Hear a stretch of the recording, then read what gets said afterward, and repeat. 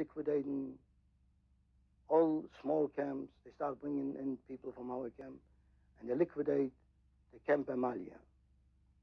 For the first time, I heard about people talking about Emalia, that there's an Oskar Schindler, an Oskar Schindler. In his camp, nobody gets beaten, nobody's hungry, and nobody's overworked. So I just couldn't understand it. But when they took people from Emalia into Plaszow, and they put him on a railroad track, it was like August, and was the sun was unbearable, burning on, on the cattle cars, and he bribed Amon Göth. Well, I came from the kitchen with some, first to give him soap, and open up the doors to get a little air. He helped people, and I was uh, asked to do the same thing.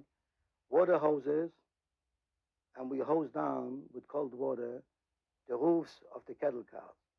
And he was screaming to the Germans, Oskar Schindler, that the Jews are all mechanics, engineers, that the Germans need them. And he guarantees that nobody will escape to open the doors for them again. So I looked at myself, I said, like, is this a, a German or is this an angel? He wore civilian clothes. I had no idea who he was. I knew only that he received the factory from Emalia, and he was the only one who did not throw out the Jew. His name, the factory owner, was Banks. That he not only took that factory, he took a, a lumber yard, and he built barracks, and he saved a few hundred Jews.